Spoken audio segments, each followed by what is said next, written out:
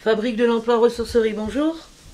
J'ai été embauchée en 1980 Oui, bonjour. dans une entreprise de textile.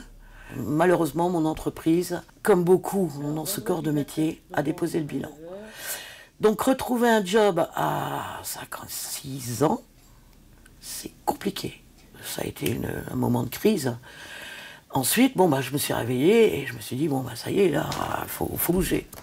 Donc, euh, quand j'ai appris une des dates où il y avait des réunions, j'y suis allée. Et ça m'a interpellée, quoi, ça ça m'a plu. Voilà, menuisier, 39 ans d'entreprise. Que l'entreprise a déposé le bilan, donc 3 ans de chômage. Et après, le Pôle emploi m'a dirigé qu'une nouvelle structure allait se faire.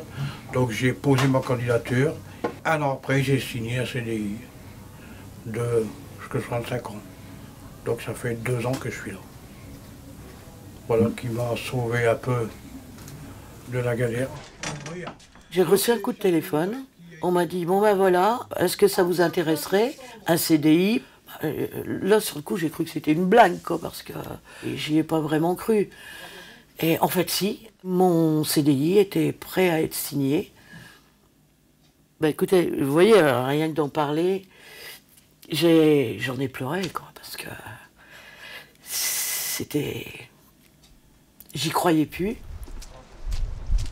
Pour t'expliquer la fabrique de l'emploi, il faut d'abord que je te parle du projet Territoire zéro chômeur de longue durée. C'est une expérimentation qui, se déroule en France depuis début 2017.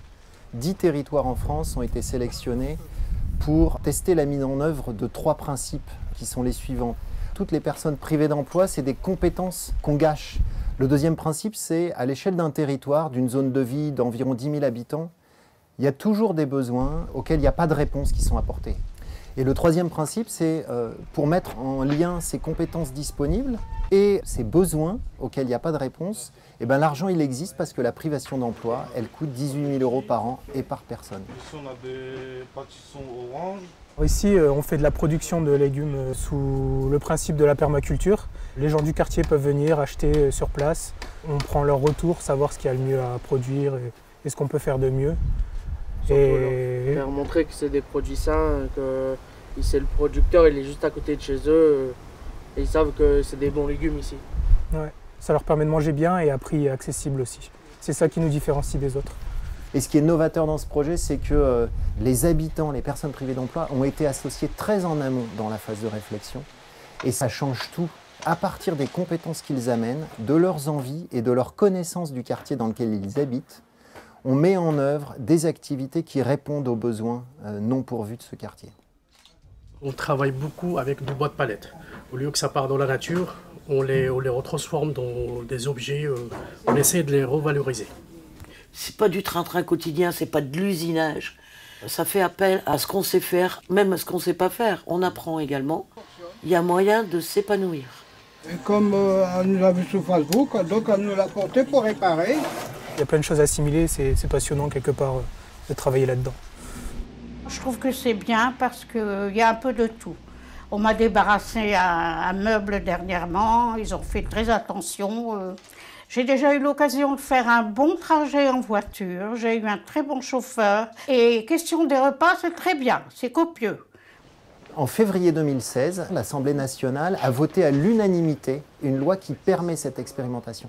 Et une loi d'expérimentation qui nous permet aujourd'hui de, de tester de la mise en œuvre jusqu'à mi-2021. C'était vraiment la chose à faire. Mais je ne comprends même pas que ça a mis autant de temps pour euh, émerger. Parce que ça, ça coulait de source. Ça a permis de faire respirer un peu les gens. Je remercie le gouvernement, euh, toute la direction euh, d'avoir été sélectionné. Aujourd'hui, la fabrique de l'emploi, c'est 120 CDI, 136 qui ont été signés. Donc il y a déjà des personnes qui sont reparties pour un emploi ailleurs, pour la retraite. Un tiers à Tourcoing et deux tiers à Los.